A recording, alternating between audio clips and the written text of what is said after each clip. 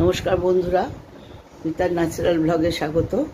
সবাইকে আজকে আমি একটি গানের সুর বাজাবো।